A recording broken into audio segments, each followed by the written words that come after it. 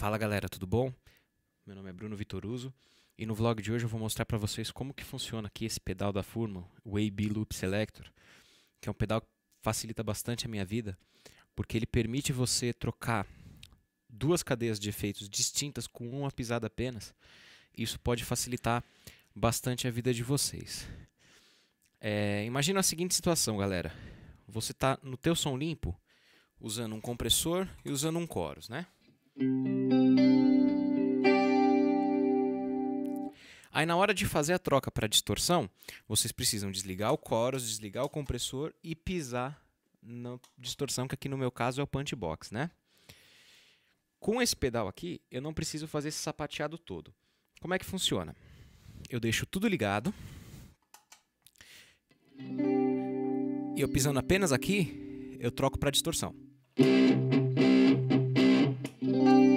Voltei para o som limpo com compressor e coros. Então, galera, como é que funciona o liga-liga aqui? São dois loops de efeitos, né? o loop A e o loop B. O loop A, no caso, está sendo o loop de efeitos que está conectado ao punchbox, que é o meu distortion. Então, o send do loop A está indo para o input do punchbox e o output do punchbox está voltando aqui para o return do meu loop A. No loop B, eu tenho o compressor e o chorus. Então, o send do loop B está indo para o input do, do, compressor, o output do compressor está indo para o input do chorus, e o output do chorus está vindo para o return do loop B. Né?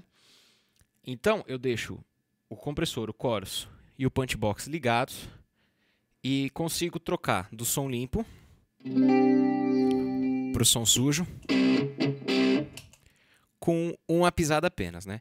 Isso facilita bastante em performances ao vivo, galera, porque geralmente quando eu toco rock and roll, né, alguma coisa assim, ou pop mesmo, o meu som limpo na maior parte do tempo é compressor com coros e o meu distortion é o punch box, então eu consigo fazer essa troca toda pisando só no loop selector.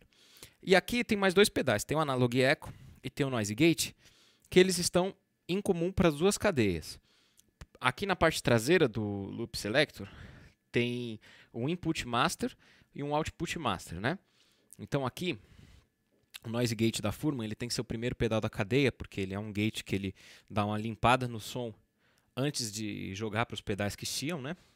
Então ele tem que ser meu primeiro pedal e ele está passando por tudo. Então a guitarra entra no gate, a saída do gate entra no input master do AB Loop Selector, o output master vai para o meu analog echo e o analog echo para o amp.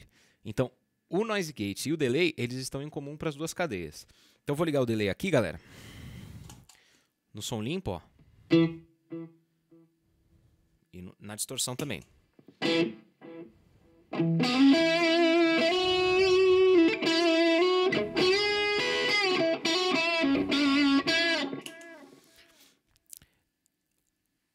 O delay, como ele está no output master, ele está vindo depois de tudo, tá? E o gate, como ele está no input master, ele está vindo antes de tudo. Então, se vocês precisarem colocar algum pedal antes do, de tudo, por exemplo, o phaser, né? A galera geralmente gosta de usar o phaser antes das distorções e tudo mais. E você quiser deixar ele em comum para as duas cadeias, você liga a tua guitarra no pedal e liga o pedal aqui no input master. E o que vocês quiserem deixar depois de tudo em comum para as duas cadeias, vocês ligam no output master, no input no, do pedal que vocês querem deixar no final da cadeia, né? Galera, isso aqui facilita muito a minha vida em shows, porque, como eu falei anteriormente, eu consigo fazer a troca desses efeitos todos numa pisada só, e isso acaba tornando bem prático. Tá certo, galera? Eu espero que essa dica tenha sido útil. É, existem produtos similares aí ao AB Loop Selector. Eu recomendo muito da Furman, que ele é muito bom, muito bem feito e num preço bastante acessível. E recomendo também que quando vocês, é, se vocês adquirirem um produto desse tipo, que vocês adquiram cabos bons também, porque para fazer esse liga-liga todo vai precisar de bastante cabo. E também recomendo que vocês é, ou se vocês tiverem um case, um case para pedais, né, um, um pedalboard tipo os, pedal, os pedalboard da Fire ou da Creation FD, vocês conseguem esconder os, os cabos embaixo dele, né?